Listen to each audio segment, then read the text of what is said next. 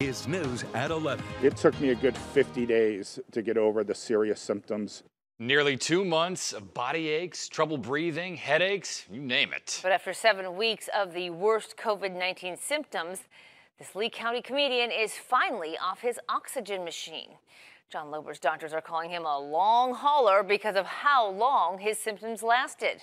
Thanks for watching ABC 7. I'm Krista Fogelsong. Hey there, I'm Jeff Butera. So your big story at 11, our weekend anchor Megan Miller gets us more on why some people feel no symptoms at all and others suffer, like John, for months. Two months and one day ago, John Lober went to the hospital and was diagnosed with COVID 19. I literally felt that night like I was dying. It was the worst feeling I ever had. He has no pre existing conditions, says he doesn't smoke or vape, and never expected to get the virus. You know, we always think that, you know, it's not going to happen to us. But for about 50 days, even after leaving the hospital and testing negative multiple times, he felt lingering symptoms. I was on oxygen 24 uh, 7 for a month. But yesterday I went to the uh, pulmonologist uh, for my monthly checkup.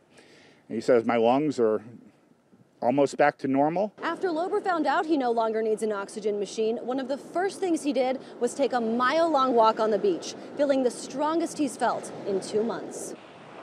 It gives me a lot of hope that I can get back to a normal life. But why does it take some people longer than others to recover from the coronavirus? Everything has to do somewhat with an inflammatory response. So different people have different degrees of inflammation in different organs. The chief medical officer for Millennium Physician Group says he and other doctors still have a lot to learn about COVID 19, but most hospitalized patients only feel lingering symptoms for about two to three weeks. The, the good thing is that when we hear that there is a prolonged duration of, of the symptoms, that is not the common uh, uh, situation that we know so far. Lober says even though he's a long hauler, he feels lucky compared to others who have lost their lives or loved ones to the virus. It does weigh on you um, mentally. Some people don't get any symptoms.